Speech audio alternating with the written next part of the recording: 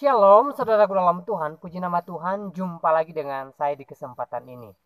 Saudara, di luar sana banyak orang yang meragukan ketuhanan Yesus. Termasuk yang viral beberapa hari yang lalu, yaitu pesan ini yang mana ini meragukan daripada ketuhanan Yesus. Dan saudaraku dalam Tuhan, ya itu sih sudah biasa lah ya ya sudah dari zaman purbakala banyak orang tidak percaya kepada Tuhan Yesus. Nah, saudaraku dalam Tuhan, sebenarnya tentang ketuhanan Yesus sendiri ya sudah banyak eh, bukti dari para arkeolog selain daripada eh, yang ditulis dalam Alkitab ya para arkeolog menemukan berbagai bukti bahwa Yesus pernah datang ke dunia ini untuk menyelamatkan manusia dari belenggu dosa. Nah, saudara Tuhan sebelum kita lanjut, mari kita melihat cuplikan video yang berikut ini. Di dunia ini terdapat beberapa barang peninggalan Tuhan Yesus yang juga menjadi bukti nyata akan kehadiran Sang Juru Selamat kita di dunia 2000 tahun yang lalu. Salah satu yang terkenal ialah kain kafan yang dipakai untuk membungkus tubuh Tuhan Yesus.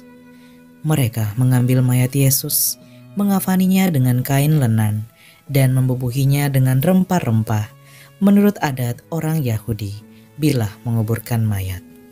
Yohanes bab 19 ayat 40 Kain kafan yang dipakai untuk membungkus tubuh Tuhan Yesus masih ada sampai saat ini dan tersimpan di gereja Katolik Katedral Santo Yohanes Pembaptis, kota Turin, Italia. Dibangun sejak tahun 1468, gereja katedral ini merupakan pusat dari Keuskupan Agung Turin sekitar tujuh jam dari kota Roma. Di dalam gereja katedral inilah kita akan melihat kain kafan Turin, barang peninggalan Tuhan Yesus yang terkenal. Selain menjadi kain yang dipakai saat dimakamkan, di kain kafan ini juga tercetak wajah Tuhan Yesus. Gambar pada kain kafan berwarna coklat ini jauh lebih jelas terlihat dalam foto negatif hitam putih setelah seorang fotografer profesional Italia yaitu Secondo Pia mengabadikannya pada tahun 1898. Secondo Pia, sang fotografer bahkan sangat terkejut ketika melihat gambar yang tercetak di kain kafan ini semakin terlihat jelas dalam foto hitam putih yang dibuatnya. Gambar hitam putih ini akhirnya mendapati wajah asli Tuhan Yesus yang dipercayai oleh banyak orang.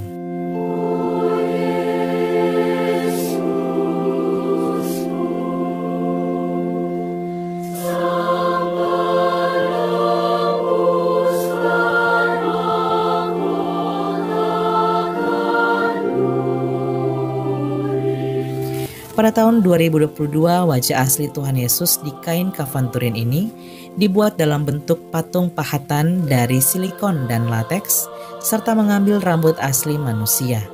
Para ahli seni, arkeolog, dan sains dari Spanyol melakukan penelitian selama 15 tahun untuk pembuatan patung replika Tuhan Yesus yang sangat nyata dengan aslinya dan belum pernah dibuat sebelumnya. Semua data dan bentuk untuk pembuatan model Tuhan Yesus ini dikumpulkan langsung dari kain kafan Turin agar lebih hidup dan terlihat realistis. Patung ini lalu dipamerkan bagi para peziarah di Gereja Katolik Katedral Santa Perawan Maria diangkat ke surga kota Salamanca, Spanyol. Patung dengan berat 75 kg dengan tinggi sekitar 178 cm ini dilengkapi dengan semua luka yang terdapat di tubuh Tuhan Yesus. Uskup Salamanca Spanyol mengatakan bahwa pembuatan patung replika Tuhan Yesus dari silikon dan lateks ini bertujuan untuk membuat umat khususnya para peziarah semakin merasakan penderitaan Tuhan Yesus lebih dalam dan juga mengingatkan kita bahwa tidak ada cinta yang lebih besar di dunia ini selain cinta Tuhan Yesus yang rela menyerahkan nyawanya untuk menebus dosa-dosa kita.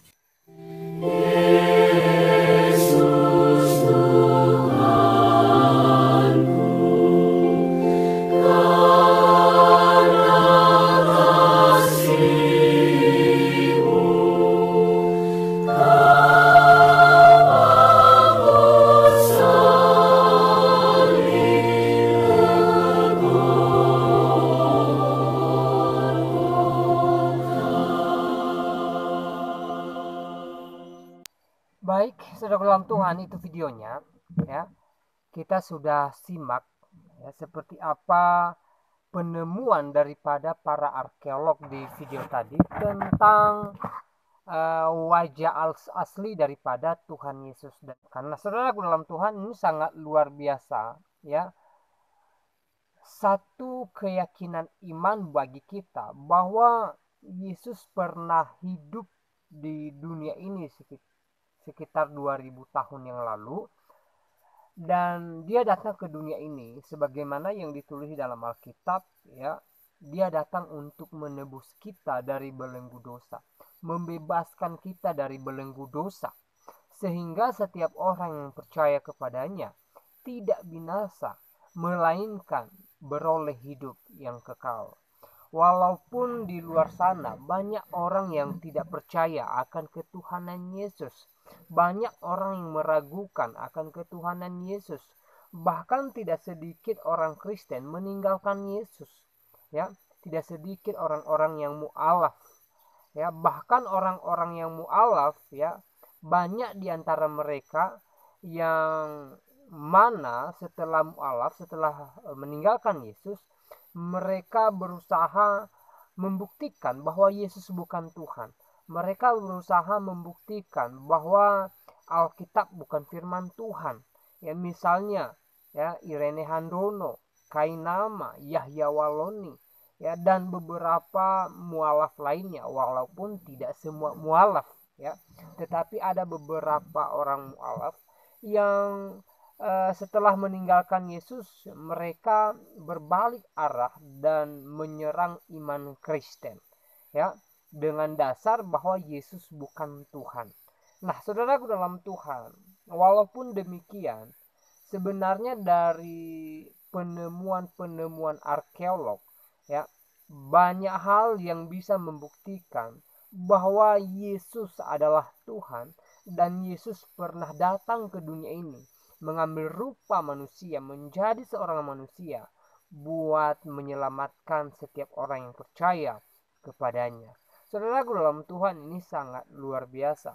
Dan kalau kita melihat di dalam Alkitab, sebenarnya sudah banyak bukti atau sudah banyak ayat yang menceritakan keilahian daripada Yesus.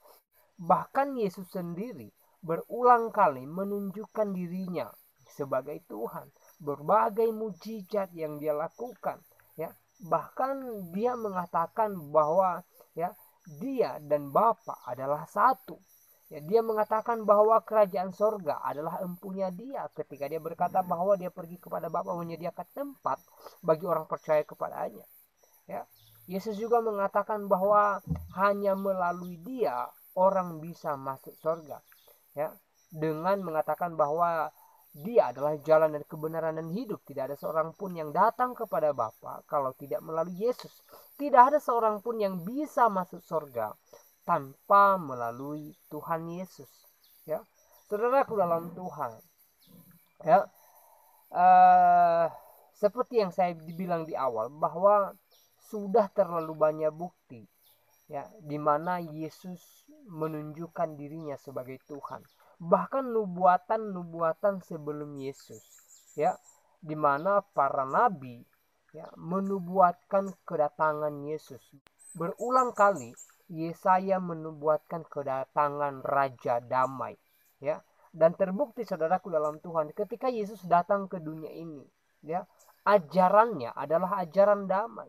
Ajarannya adalah ajaran kasih seperti yang dinubuatkan oleh eh, para nabi terdahulu sebelum dia datang ke dunia ini. Ya. Dia membawa pengampunan dan dia mengajarkan supaya setiap orang yang percaya kepadanya ya, hidup dalam kasih, hidup dalam pengampunan. Ya. Dan sebelumnya itu dinubuatkan oleh para nabi bahwa akan datang raja damai saudaraku dalam Tuhan.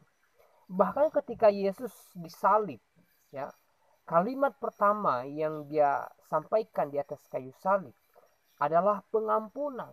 Yesus berdoa bagi mereka yang menganiaya dia. Yesus berkata dan berdoa, "Ya Bapa, ampunilah mereka sebab mereka tidak tahu apa yang mereka perbuat." Ya, di dalam Injil Matius pasal 5 juga di sana ya Yesus berulang kali mengajarkan tentang kasih. Ya, Yesus mengajarkan supaya jikalau pipi kananmu ditampar, kasihlah pipi kirimu. Ya. Berdoalah bagi mereka yang menganiaya kamu. Berdoalah bagi musuhmu. Kasihilah sama manusia dan kasihilah musuhmu. Ya. Tepat seperti yang dinubuatkan oleh para nabi terdahulu bahwa Yesus datang ya, membawa damai. Nah, saudaraku dalam Tuhan, sekali lagi ya kalau kita merujuk kepada Alkitab sudah banyak bukti bahwa Yesus adalah Tuhan. Ditambah lagi penemuan daripada arkeolog tentang ya sosok daripada Yesus Kristus. Nah, saudaraku dalam Tuhan, ya semoga video singkat ini memberkati kita menguatkan iman kita dan selebihnya silahkan berikan tanggapan saudari kolom komentar berikan tanggapan yang baik yang positif terutama tanggapan yang memuliakan Tuhan. Tuhan Yesus memberkati kita semua